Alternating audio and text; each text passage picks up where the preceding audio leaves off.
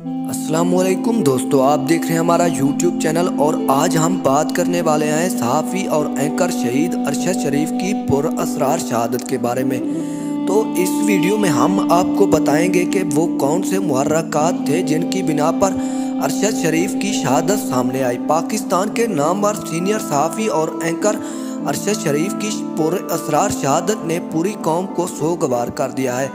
वो मेहनती मतदिल नरम लहजे में गुफ्तु करने वाले मुहब वतन सहाफ़ी थे। करप्शन फ्री पाकिस्तान उनका ख्वाब था और वो करप्शन पर एक डॉक्यूमेंट्री पर भी काम कर रहे थे। पाकिस्तान का करप्ट माफिया उनसे खौफजदा था। वो किसी इखलाकी और माली स्कैंडल में मुलविस नहीं थे। मीडिया और सियासत से वाबस्ता अफराद उनकी दिल से इज़्ज़त करते हैं। उनकी शहादत से पाकिस्तान एक नडर दिलेर और हक गो साफ़ी से महरूम हो गया है। पाकिस्तान में चूँकि काबिल इतबार, निज़ाम इंसाफ मौजूद नहीं है, इसलिए जब भी कोई सानहा होता है तो पाकिस्तान में क्यास आराइयाँ शुरू हो जाती हैं।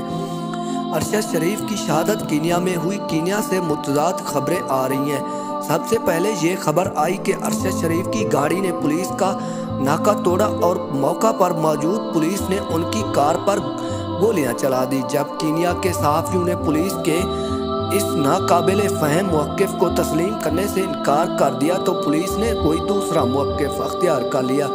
पाकिस्तान अकवा मुतहदा के सेक्रेटरी जनरल ने अरशद शरीफ के कत्ल में दिलचस्पी ली, और अब कीनिया की हुकूमत ने इस वाक़ को संजीदा लेना शुरू किया है। तहरीक इंसाफ के चेयरमैन इमरान खान ने अपने एक बयान में दावा किया कि अरशद शरीफ की शहादत टारगेट किलिंग हुई है। पाकिस्तान में उनकी जान को ख़तरा था और उन्होंने उसे पाकिस्तान से चले जाने का मशवरा दिया और उसे पिशावर से दुबई जाने के लिए सरकारी सहूलत फराहम की। अरशद शरीफ दुबई से पाकिस्तान वापस आना चाहते थे, मगर इमरान खान ने वापस आने से रोक दिया।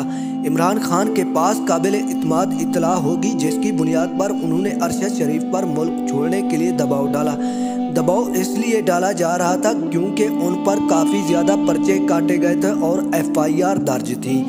इसी बिना पर अरशद शरीफ मुल्क छोड़कर बाहर चले गए थे। इसके बाद कीनिया में एक अजनबी की तरह बेजारो मददगार के तौर पर रहने लगे और इसके बाद असल में वो कीनिया इसलिए गए थे क्योंकि उन्होंने डॉक्यूमेंट्री पर कुछ रिसर्च करनी थी और उस डॉक्यूमेंट्री पर दस्तखत होने थे। फिर बात करते हैं। अरशद शरीफ ने एक मरतबा ये दावा भी किया था कि अगर उनको इजाज़त दी जाए तो वो दस दिन के अंदर बीबी शहीद बेनज़ीर के कातलों का भी पता लगा सकते हैं। अगर देखा जाए तो बहुत सारे मुहरक़ात हैं जिनकी बिना पर अरशद शरीफ को शहीद कर दिया गया।